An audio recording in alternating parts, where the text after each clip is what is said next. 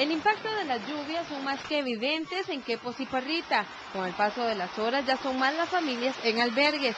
Las primeras evacuaciones se dieron en las comunidades de Paquita, Cocal y Garavito. Los adultos mayores del hogar de ancianos se encuentran actualmente en la iglesia católica, mientras que los demás afectados permanecen en el Teatro Copasa. Vladimir Rosales del Cuerpo de Bomberos de Quepos detalló a Extra Noticias sobre esta situación. En este momento están siendo deportadas 40 personas del sector de Paquita. Tenemos la precaución con el hogar de ancianos, donde tenemos el sector de la iglesia católica del centro de Quepos como un posible albergue para ellos.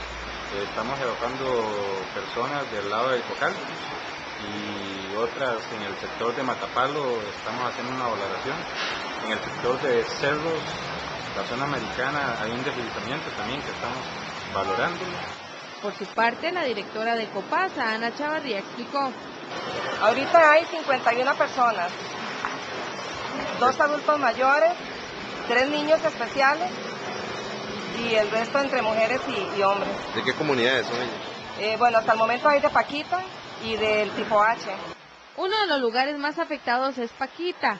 Ante la evacuación, la policía resguarda los bienes de los afectados. En Parrita, los más afectados son Citradique, Pocares, Barrio El Imbu, Barrio El Coco y Las Vueltas. El paso está regulado en algunos sectores de Parrita, mientras que la costanera sur está cerrada a la altura de las ventanas. El oficial de tránsito Carlos Jiménez Herrera detalló a Extra sobre esta situación.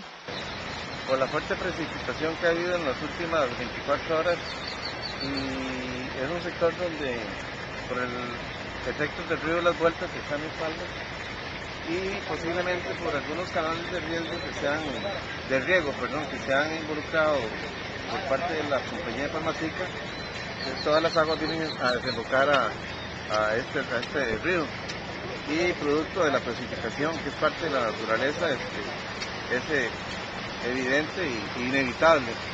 Sin embargo, vamos a tratar de hacer lo posible para que todos puedan circular en, en ambos sentidos. La Comisión Nacional de Emergencias declaró alerta amarilla para la región pacífica, previendo el incremento de las lluvias en las próximas horas.